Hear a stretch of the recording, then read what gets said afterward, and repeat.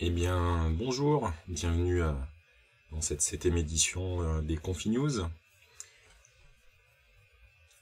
On va laisser les derniers arriver. Déjà, salut euh, Dadideo.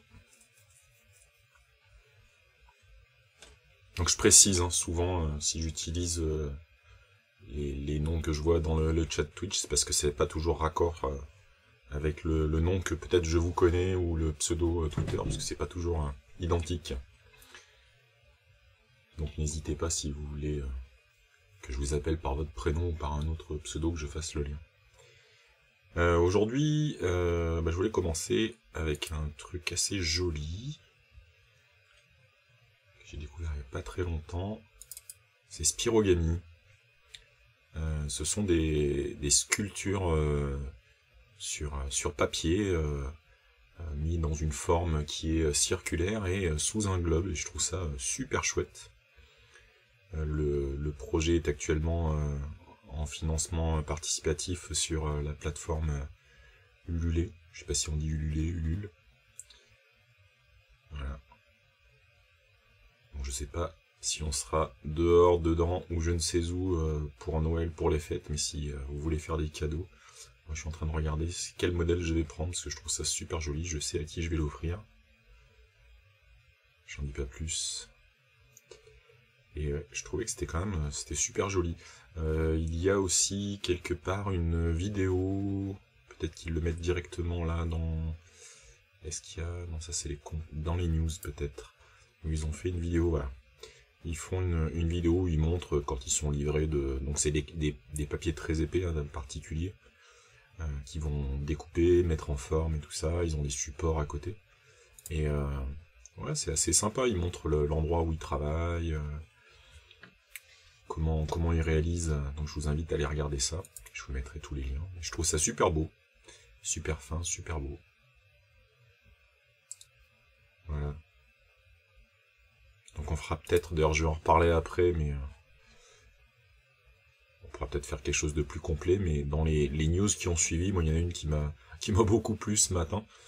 Euh, c'est euh, c'est quelqu'un qui a posté, donc qui a fait un article de Christmas Shopping Guide et euh, il y a trop des choses euh, que je vous conseille ou que j'ai déjà, ou qui me font envie. Donc, euh, rapidement, évidemment, il y a des produits de chez Pimoroni.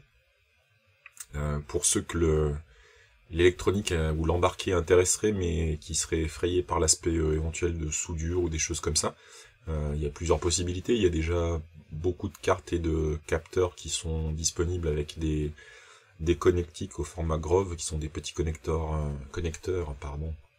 Je vais pas faire mon Jean-Claude Van Damme, je vais vous montrer ça.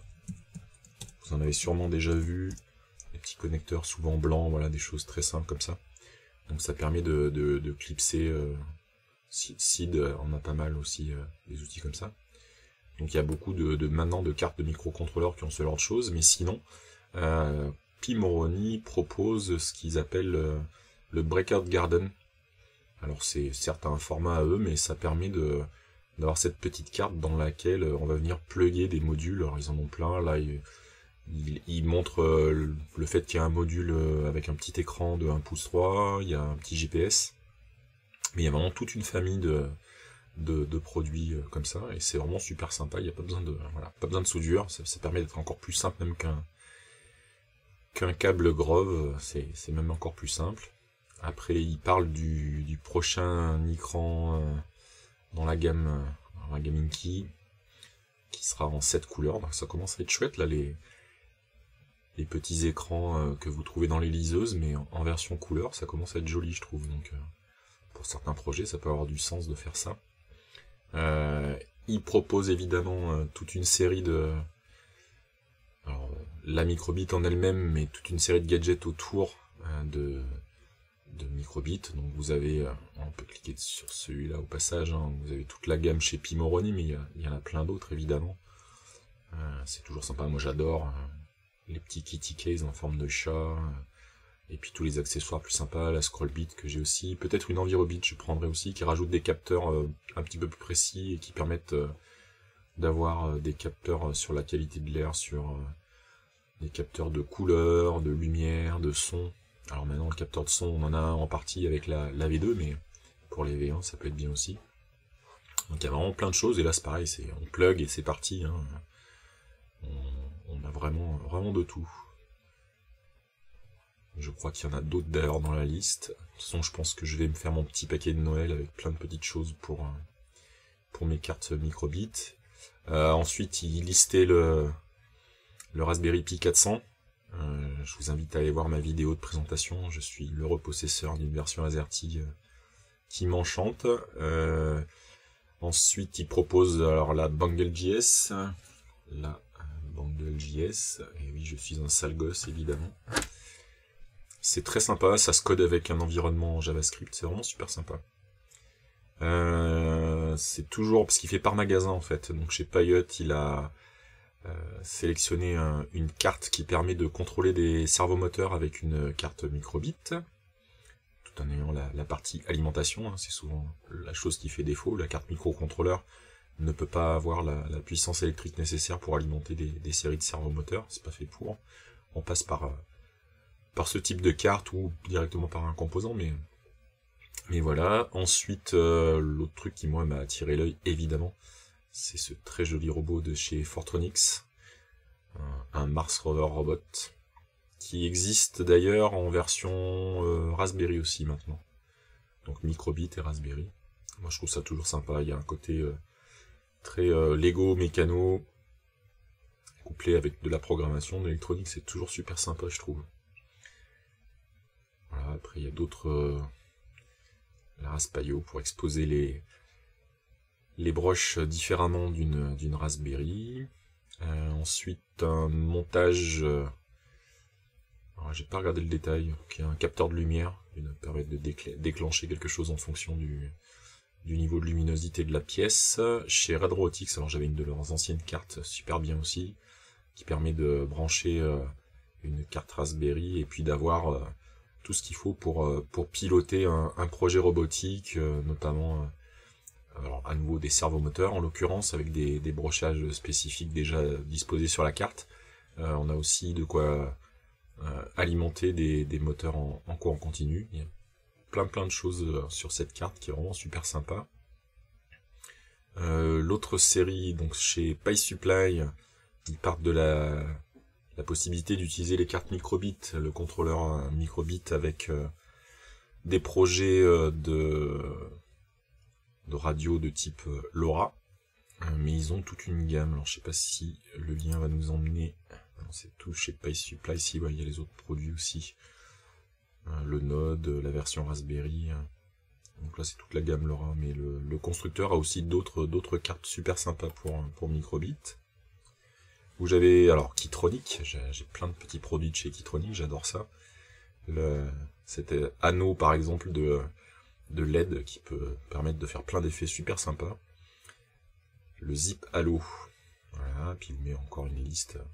Donc voilà, ça commence à approcher la saison où vous faites les cadeaux que vous voulez à qui vous voulez. Moi, je vais en faire, je m'en fais à moi aussi.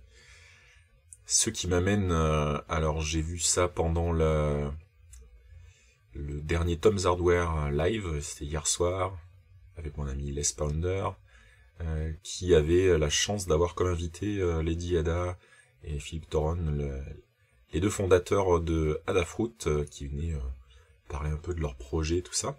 Et au passage, ils annonçaient, c'est ça que je voulais vous partager, ils ont mis en place une offre où pour vous encourager à, mettre une double authentification sur votre compte Adafruit, euh, lorsque vous allez le faire, eh bien, vous allez avoir droit à 20% euh, sur une commande. Donc inutile de vous dire que je vais évidemment euh, sécuriser mon compte chez Adafruit pour profiter de ces 20% qui permettront de payer une partie des taxes que je me ramasse à chaque fois. Et notamment, le secteur qui m'intéresse en ce moment et que je vais sûrement investiguer, c'est tout ce qui est lié un petit peu, alors machine learning j'en ai déjà fait par ailleurs, mais là ils ont vraiment une carte dédiée à ça pour se plugger avec une, une carte Raspberry, une caméra, enfin il y a, y a tout ce qu'il faut pour faire tourner de manière simple un, c'est un TensorFlow Lite, et euh, moi j'aimerais bien y mettre le nez dedans, et, euh, et ça me tente bien de voir un peu de faire un peu de reconnaissance d'objets, peut-être de la reconnaissance faciale.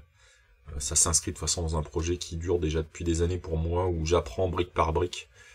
Je vais me fabriquer au final euh, un petit assistant à terme, monter sur un petit bras articulé avec une caméra, peut-être euh, quelques quelques LED, euh, quelques matrices de LED pour avoir l'équivalent de, de deux yeux pour avoir un peu d'expressivité. Et avoir une espèce de petit assistant qui se balade sous le côté du bureau, je trouve ça marrant. Donc je pense que c'est un truc que je ferai et j'aimerais bien qu'il ait la capacité de reconnaître certains objets. donc je vais sûrement commander ce Braincraft euh, pour faire, ce genre d'essai. Il y a des tas d'autres solutions euh, directement avec un PC, mais euh, voilà, j'aimerais bien avoir un, truc basé avec une Raspberry posée dans un coin et tout ce montage avec. ça, ça me dit bien. Et puis, eh ben, pour ce qui est des petites news que je voulais aborder aujourd'hui, je crois que j'ai rien oublié. Voilà, j'ai fait le tour de tout ce dont je voulais vous parler, en tout cas que j'avais noté pour aujourd'hui. Voilà. Et voilà, vous entendez passer derrière Jazz la mascotte, qui était pas là au début, qui vient se balader dans le bureau. Viens là, Jazz. Viens faire ta star. Viens. Là. préfère aller faire la sieste. Vous n'allez pas tarder à l'apercevoir normalement.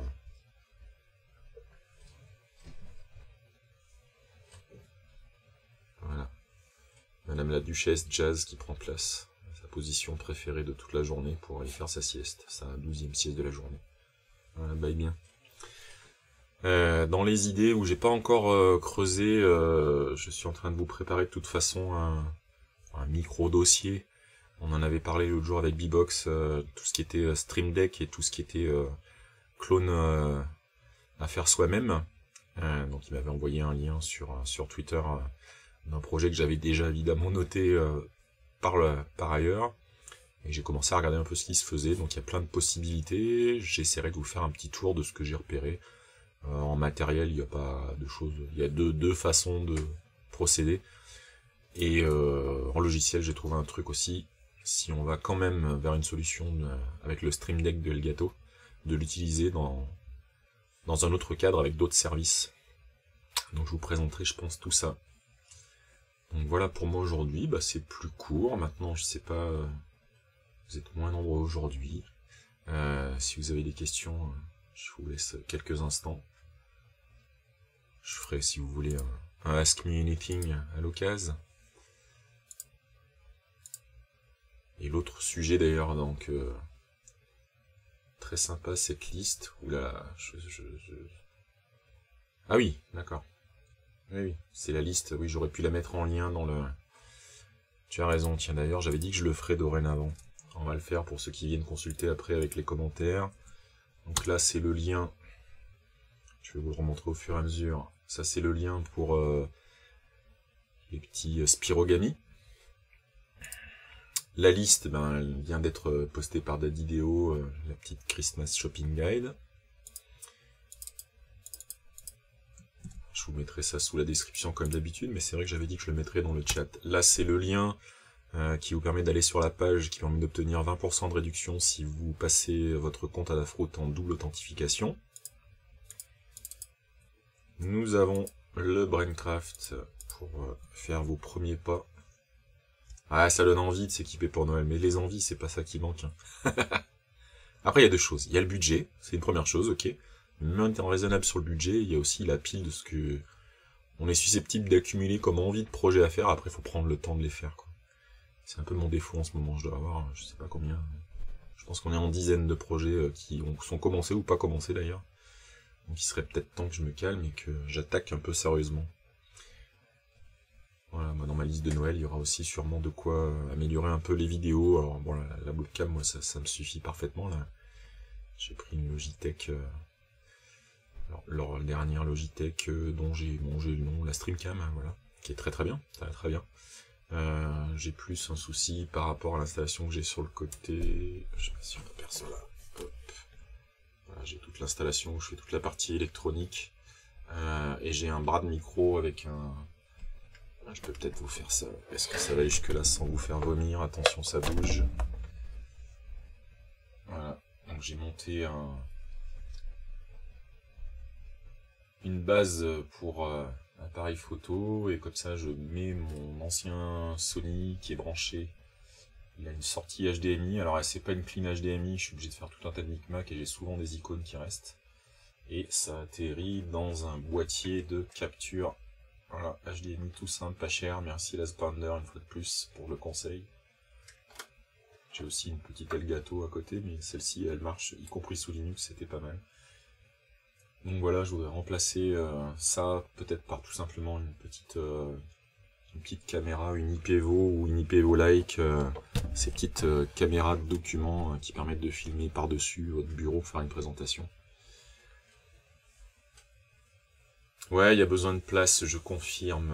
Je, je sais pas qui est derrière Number 80, mais oui, je confirme.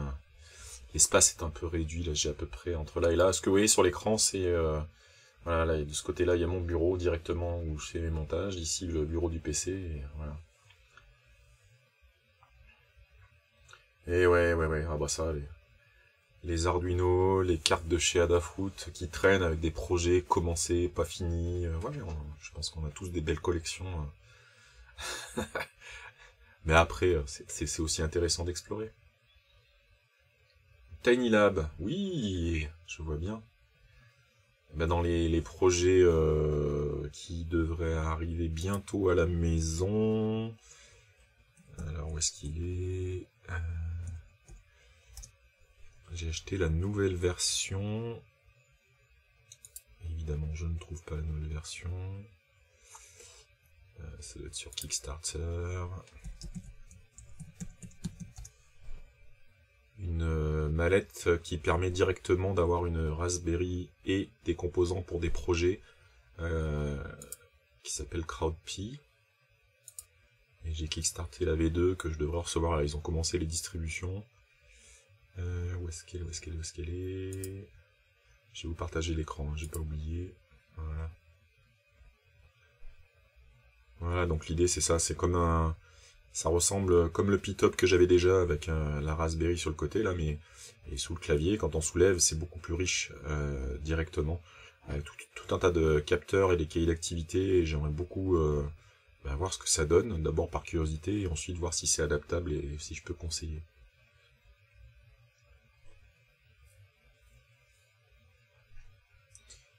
Ouais, mais je vois très bien le, Tiny Lab. Ouais, ouais donc là, euh, avait déjà eu un premier modèle euh, dans une mallette beaucoup plus grosse et moins, d'après le constructeur lui-même, moins, moins facile à, moduler. Donc là, euh, c'est pas mal du tout. Alors, sur la campagne elle-même, il y a plus de photos. Voilà, c'est ce genre de choses. On enlève le clavier qui reste utilisable et on a un boîtier pour ranger les composants. Voilà, c'est toujours dans, dans, cet esprit là de faire tourner des choses, des ateliers avec Mixtine. Les, les P-Top étaient bien, les Pyseed étaient parfaits euh, jusque-là. Euh, si pour le même prix, on a un équivalent qui est un peu plus transportable et qui a tout ce qu'il faut à l'intérieur pour non seulement avoir des activités logicielles, mais des activités liées à du hardware en même temps, ça marche toujours super bien, les activités hardware. c'est vraiment, je pense, c'est une des pistes si on reprend les ateliers en physique.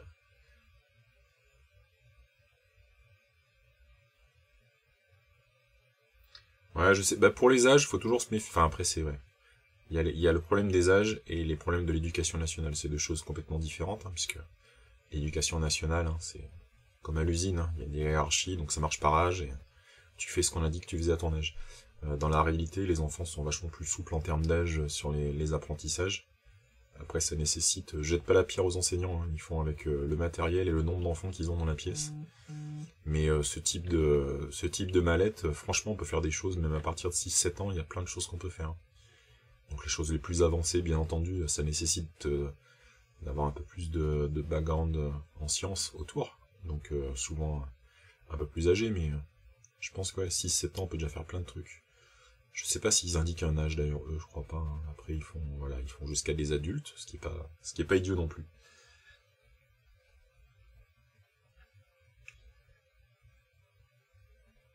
Je n'avais même pas idée de l'existence de ce genre de projet, dit Number 80.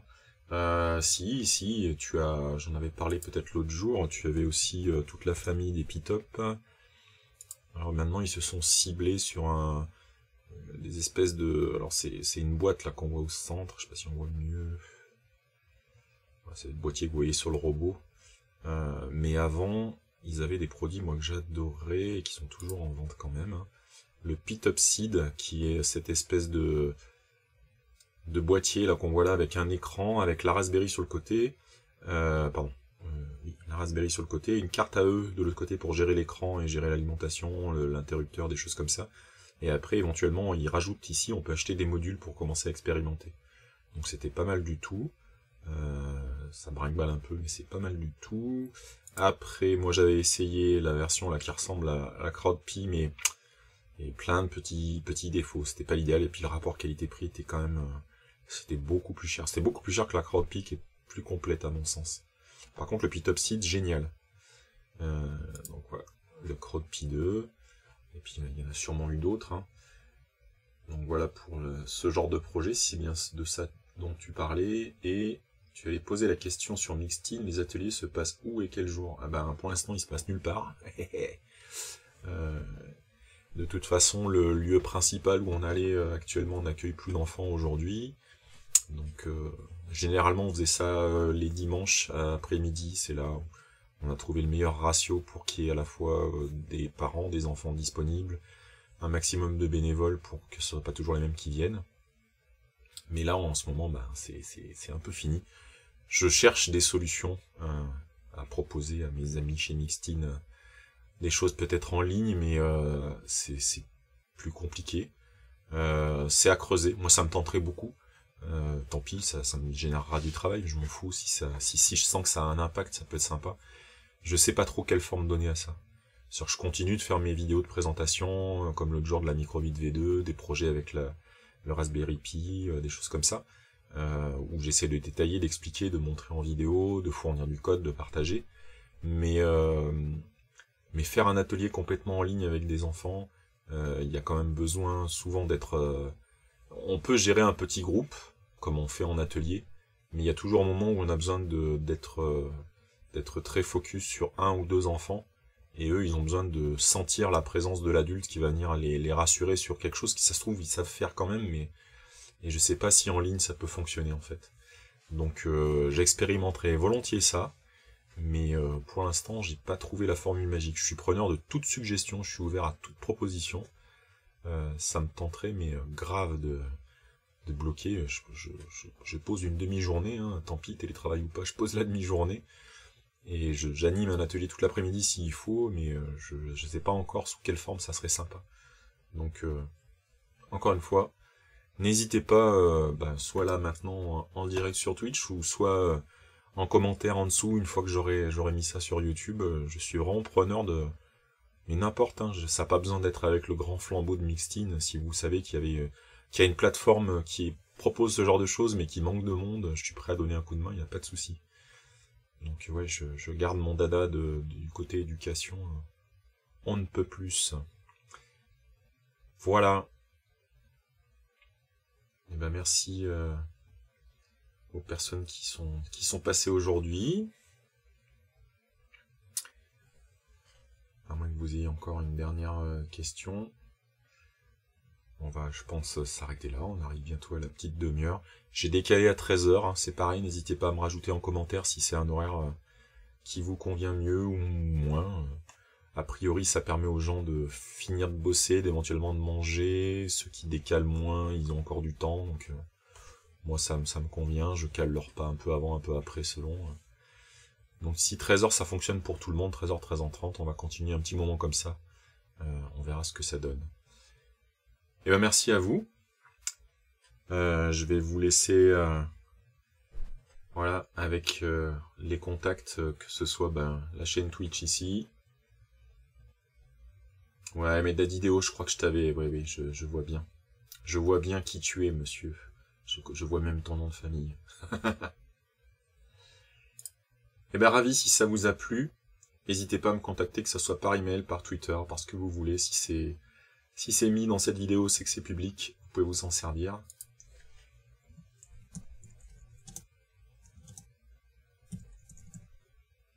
Et comme je conclue à chaque fois, attention, ça va couper.